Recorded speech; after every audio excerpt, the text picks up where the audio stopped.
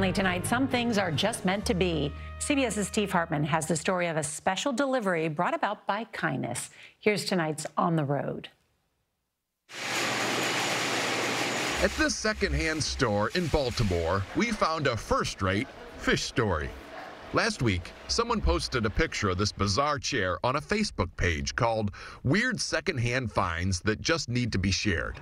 And when Syracuse auto mechanic Emily DelFavero saw that chair, she about had a cow because of what's on her calf. And here's the truly amazing part Emily never owned the chair.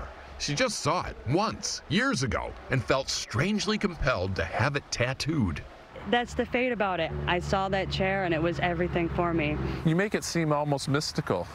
I believe that it is. Almost like you have to get the tattoo and you don't know why. Exactly. But answers were coming.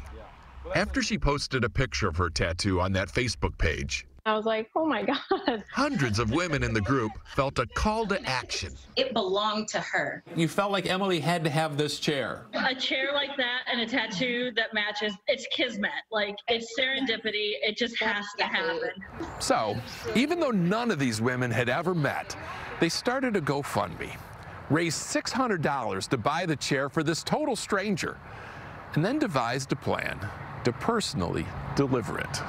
Perfect fit. First, Jen Gerrard picked it up in Baltimore, drove it to Meredith, who drove it to Marianne, and so on, up Interstate 81 more than 300 miles. Sarah Edwards carried the precious cargo on its last leg. It is very similar to driving my children home from the hospital the first day they were born. Um, nervousness, excitement. I can't even comprehend why anybody would want to do something like this for me. It's a legitimate question. And it very quickly was not about a chair anymore it gave me something that I needed and I didn't know I needed. I think a lot of people are looking for ways to connect and looking for any excuse to connect. And if it's a fish chair, it's a fish chair. That's right. Yeah. Okay. Sorry. Clearly, kindness can take many forms. I mean, we're, we're a fellowship. We're a fellowship of the fish chair.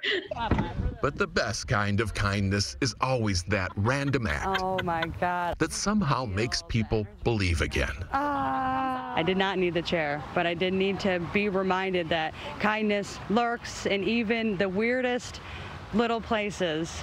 All we need to do is fish for it. Sarah, you did great. Steve Hartman, on the road in Syracuse, New York.